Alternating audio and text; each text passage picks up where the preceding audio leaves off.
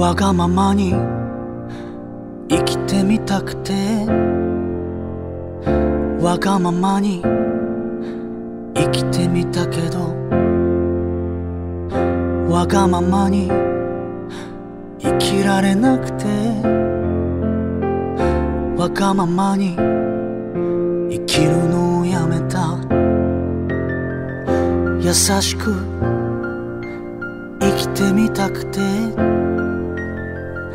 優しく生きてみたけど優しくは生きられなくて優しく生きるのをやめた。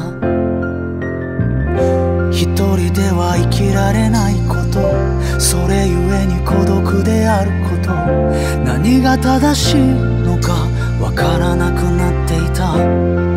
づけばまた誰かと比べ劣等感に溺れている。君は君だよ。その言葉がなぜか苦しかった。まるで真っ暗な舞台の上。一本のスポットライト。嘘を置き込んだ人間か。無表情で棒読みのセリフを吐く。客席は満席皆呆れ顔で。こっちをたった一人泣いてた君がいた。そうだ。そんな感じだ。君を見つけた時の僕は切なくてその何倍も嬉しかったんだ。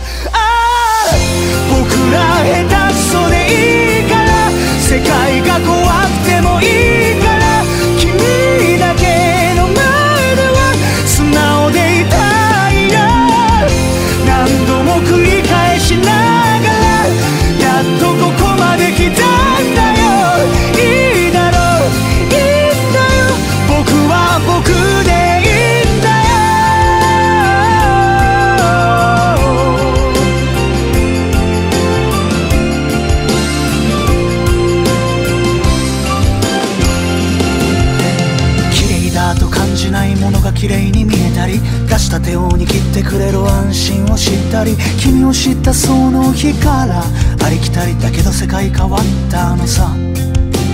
誰かのために自分を変えることは嘘とかではなく愛だと思うんだ。それがいつか本当の自分になれるといいな。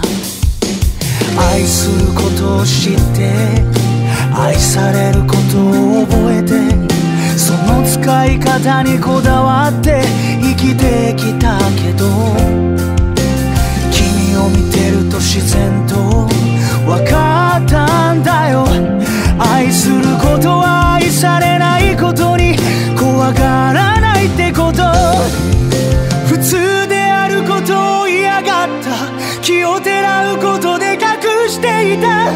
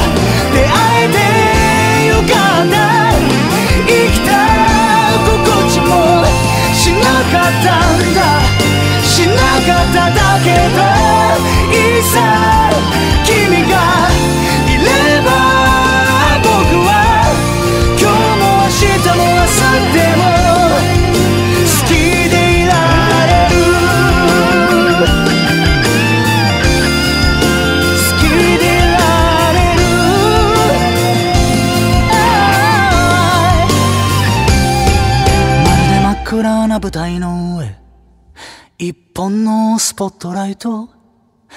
今日は二人の人間か。棒読みでセリフを吐く。